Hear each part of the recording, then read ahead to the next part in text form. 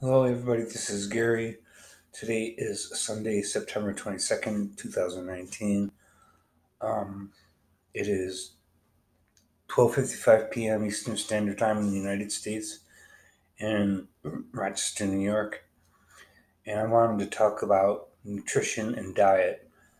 I've already made a video that um, people who are on antipsychotic medications like Seroquel, particularly Seroquel, often get an increase in weight of up to 100 pounds because while they're taking antipsychotic medications, they're not watching their diet and they're not exercising, um, which is hard to reverse once it's happened. I've seen friends who are 100 pounds overweight after taking drugs like Seroquel and Zyprexa. Um, so obviously, nutrition, diet, multivitamins, exercise are important in preventing weight gain and diabetes, which the drugs like Seroquel can cause. Once you gain weight, you have a high degree of um, probability of getting diabetes. Um, so I'm all for exercise and nutrition before a person gains 100 pounds, before they get diabetes. Exercise, diets, um, proper vitamins and minerals are all very important in keeping a person's weight down, as is so is exercise.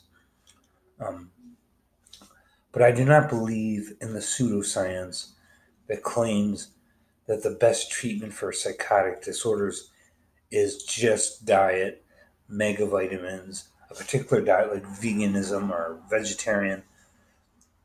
People who are health food nuts um, claim that you can take somebody with a psychotic disorder, take them off their medication, and treat them with multivitamins in mega doses and changing their diet to something like vegan diet or vegetarian diet. They think you could treat psychotic disorders alone with diet and exercise and other pseudoscientific things that don't actually treat schizophrenia. Um, if you take a psychotic person off their psychotic medication, antipsychotic medications, and try to treat them with diet and mo- dosages of multivitamins, that's not going to help.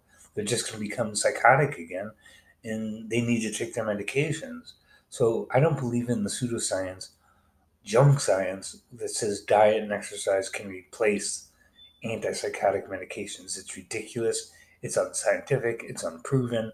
It's shown not to be true. If um, you only do diet and exercise, you somehow get rid of a psychotic disorder. It doesn't work that way. So I just wanted to point that out. Um, like, subscribe, comment, and share.